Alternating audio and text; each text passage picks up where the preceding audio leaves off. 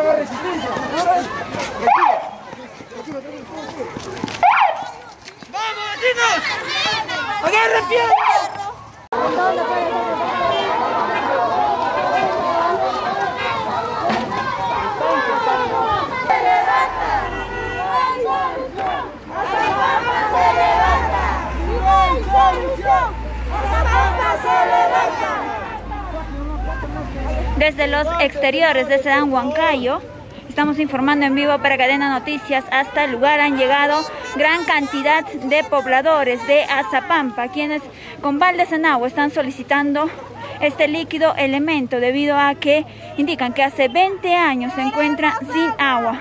Ahorita estamos solicitando que el arbitraje que tiene Sedán con el señor Rómulo Matos se levante. Por ese caso que ahorita están en el arbitraje, nosotros no podemos avanzar con nuestro expediente y todo. Nosotros ya estamos en todo y hemos avanzado en todo sector ya. Apampa tiene más de 8 mil eh, pobladores. Ya ahorita pues, nos vamos a levantar, señorita, si es que ahorita no nos dan soluciones. Toda la población está de acuerdo en levantarse. Tendremos, nos levantaremos porque el COVID nos gana, señorita. Nuestros familiares se nos mueren. El Estado nos dice, lávense las manos. No tenemos agua para lavarnos.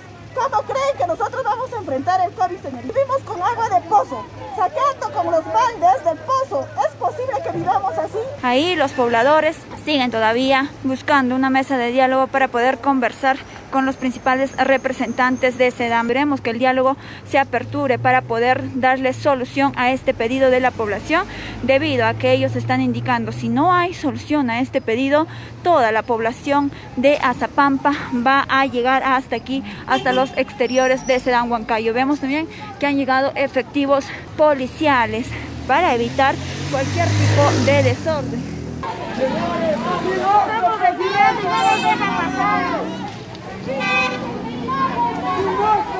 Se dirigían hasta el Parque Guamamarca para tener una reunión entre ellos, sin embargo los efectivos policiales en cumplimiento de que no se deben reunir ni aglomerar han tratado de evitar que se sigan trasladando hasta el centro de la ciudad de Huancayo. Debido a esto se ha ocasionado un enfrentamiento entre jalones para evitar que los efectivos policiales intervengan algunos de los dirigentes. La aglomeración, la aglomeración la está haciendo la policía, no nosotros.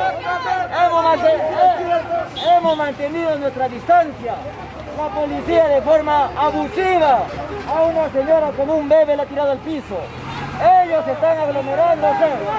Estamos pidiendo solamente agua. No tenemos agua. Hemos dejado un memorial dándole plazo siete días a Sedán. Si no nos soluciona, hasta el Pampa se levantará, señor. Estamos organizando, señores. Ahorita el policía está. está animando, señores.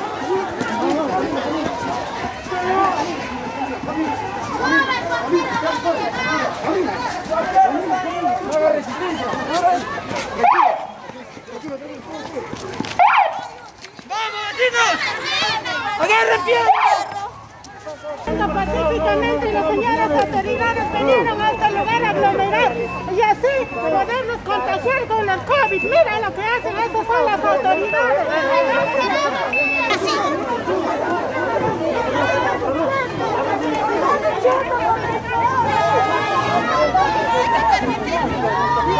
Estamos viendo pues cómo lo acaba de pues para carro y evitar pues, Unidad de servicios especiales ha cercado todo el lugar para intervenir a algunos de los pobladores quienes se resistían a retirarse. Ha sido necesario entonces el uso de la fuerza para poder pedir que se puedan dispersar los pobladores de Azapampa.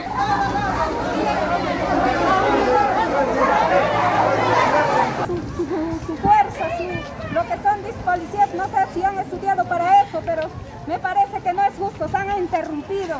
Nos estamos contagiando todos haciendo esta aglomeración. ¿Por qué pueden hacer eso? Por el hecho que son policías, se lo han llevado mi presidente, se lo han llevado todos los expedientes. Nos vamos ahorita hacia la comisaría de Huancayo. ¿Cuántas personas han sido intervenidas?